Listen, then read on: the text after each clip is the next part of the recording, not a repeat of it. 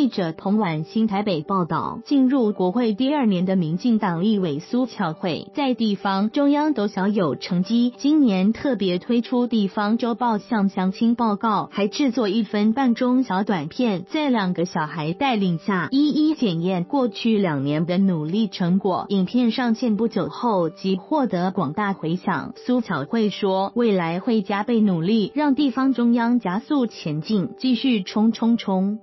苏巧慧自二零一六年二月进入立法院担任第九届立委，至今接近两年。从一开始的不熟悉摸索，到现在逐步上手，熟能生巧的程度，期间历经不少困难与学习。为让民众更了解自己进入立法院后的努力，苏巧慧今年推出一支仅一分半的动画小短片，由两个小孩领军，一一盘点在地方的种种建树，包含三一大桥相关工程经费的争取，以及英格车站钢棚座椅更新等，都在短片中活灵活现的展出。